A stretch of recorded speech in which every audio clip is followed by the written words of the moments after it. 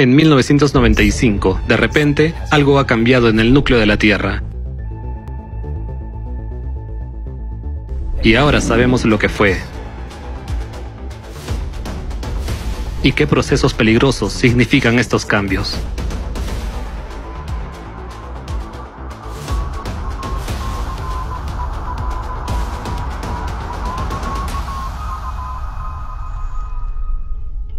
Esta es una copia de nuestro planeta Tierra, reducida 10 millones de veces, y con la ayuda de esta copia, les explicaré qué cambios anómalos han ocurrido en el núcleo de nuestro planeta en 1995 y 1998, y qué procesos peligrosos significan estos cambios.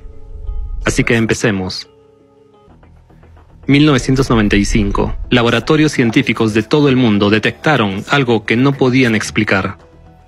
Echen un vistazo al mapa. El polo magnético norte de nuestro planeta, que siempre había ido a la deriva a la misma velocidad de 15 kilómetros por año, se aceleró súbitamente a 50 kilómetros por año en 1995 y cambió su ruta. Comenzó a dirigirse hacia Siberia. Simultáneamente, otros científicos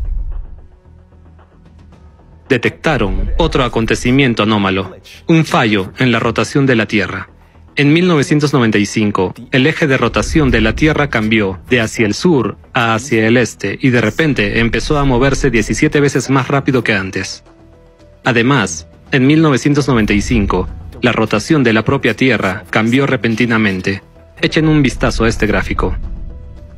Hasta ese año, los científicos observaban una ralentización de la rotación del planeta, pero en 1995 detectaron una súbita aceleración de la velocidad de rotación de la Tierra. En otras palabras, de forma independiente, los Centros Mundiales de Investigación Científica documentaron cambios anormales en tres parámetros de la Tierra. Número 1. Rápido desplazamiento del polo magnético. Número 2. Cambio del eje de rotación. Número 3. Aceleración de la rotación de la Tierra.